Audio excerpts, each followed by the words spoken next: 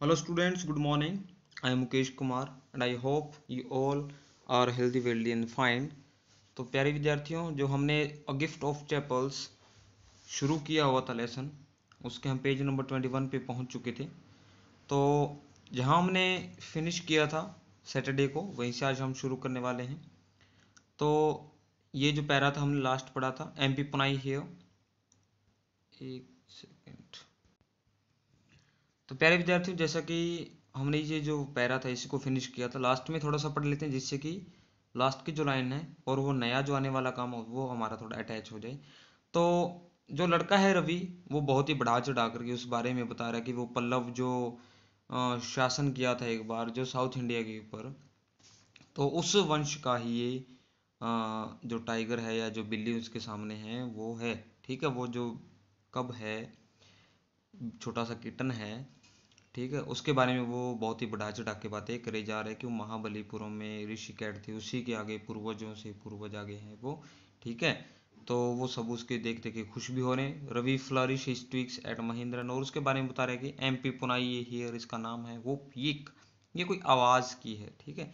He strict very please with himself strict हो, चिल्लाना, वो चिल्लाया और बहुत ही खुश था मतलब जो रवि था, वो अपने ही बातें बता बता कर बहुत खुश हुए होते जा रहा था। उससे आगे हम शुरू करते हैं। Mahendran looked up alarm Mahindra ने ऊपर देखा और वो अलार्म हुआ। अलार्म का मतलब होता है सचेत होना, सतर्क होना। He had just been sharpening his claws on the edge of the coconut shell वो क्या कर रहा था? अपने क्लोज जो थे क्लोज मीन्स पंजे जो थे, उसको शार्पन कर रहा था। शार्पन मतलब थोड़े तीखे कर रहा था, उसको घिस रहा था कोकोनट शेल के ऊपर। But worse than Ravi's awful whoop यिक was screech लेकिन रवि की जो बढ़ा चढ़ा की बातें थी, उससे भी एक बेकार चीज़ या कुछ, एक आवाज़ आई जिसका क्रीच एक साउंड है, वो अभी देखें क्या होता है। फ्रॉम द विंडो एक विंडो में से आवाज़ आई। What a weird sound weird मतलब स्ट्रेंज अनयूजल ये कैसी साउंड है? If Mridu was startled M P Poonai was frightened out of his wits और कह रहे कि जो आवाज़ आई है, ये कितनी अनजान आवाज़ है। और स्टार्टल का मतलब चौंक जाना। और जो मृदु है, वो चौंक गई है। और एमपी पुनाई वो भी मतलब उस आवाज़ से एकदम से डर गया है। पता नहीं उसको मतलब एक विचित्र सी आवाज़ सुनाई थी तो वो थोड़ा सचेत हो गया कुछ ना कुछ बुरा ना घटित होने वाला हो। Hair standing on end he bounced up and screwed toward a bamboo tray of red chillies that had been set out of dry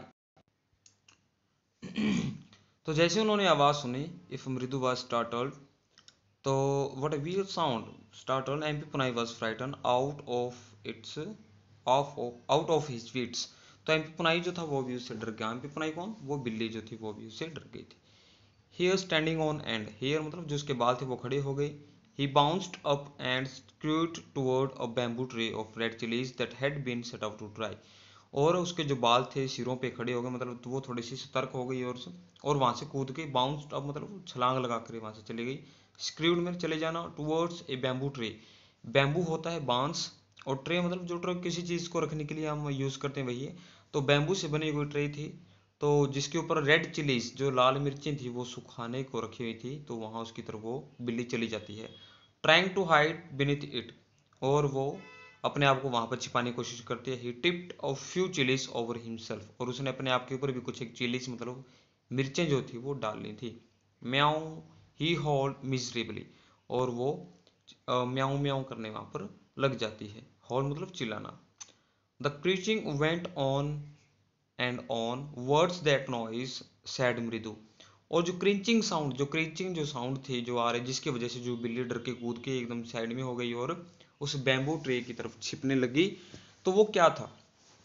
तो वो जो साउंड थी वो बार बार आ ही रही थी, आ ही रही थी। तो ये आवाज़ क्या थी? मृदु ने पूछ लिया। That's Lali learning to play the violin grunted Ravi अब रवि ने उसको बताया ग्रंटेड मतलब गुरगुराना या कुछ बताना बड़बड़ाना कि जो लाली है, वो वायलिन सीख रही है, इस वजह से वो ही आवाज़ है। शील नेवर लर्न अ थिंग और वो कभी नहीं सीख पाएगी कुछ भी, उसने ये कह दिया।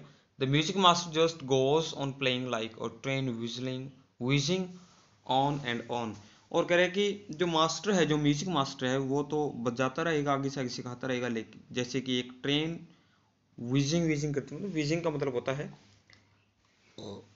तेज़ी से गुजरना। जैसे जो ट्रेन होती है ना, वो तेज़ी से गुजरती रहेगी और वो लड़की कुछ नहीं सीख पाएगी। इसका मतलब ये है कि जो उसका जो मास्टर है वो तो उसको नई नई चीज़ें डेली सिखाता रहेगा, लेकिन वो कुछ नहीं सीख पाएगी। रवि ने उसके बारे में कह दिया, किसके बारे में? लाली के बारे में। Wild Lali's all the time derailing और जो कह रही है कि जो लाली है, वो बार बार बार बार पटरी से उतर जाती है। वो कह रही है कि जो मास्टर उसको वो सिखाने की कोशिश करता है, लेकिन वो जो है, लाली जो है, वो बार बार पटरी से नीचे उतर जाती है मतलब वो सीखना बंद कर देती है। गोइंग कम्प्लीटली ऑफ़ ट्रैक और वो ऑफ़ ट्रैक चलने लग जाती है मतलब जब भी उसको कुछ सिखाया जाता है, वो उसे उस अपने रास्ते से भटक जाती है मतलब वो कुछ सीख नहीं पाती है। तो प्यारे विद्यार्थियों, आज हमारा जो पार्ट वन है, वो फिनिश हो चुका है और कल हम सेकंड पार्ट शुरू करेंगे, और आज हम मैं इसके आपके जो क्वेश्चन आंसर है, वो भी आपको मैं अभी भेज देता हूँ तो वो आपने फिर नोटबुक में लिखने हैं।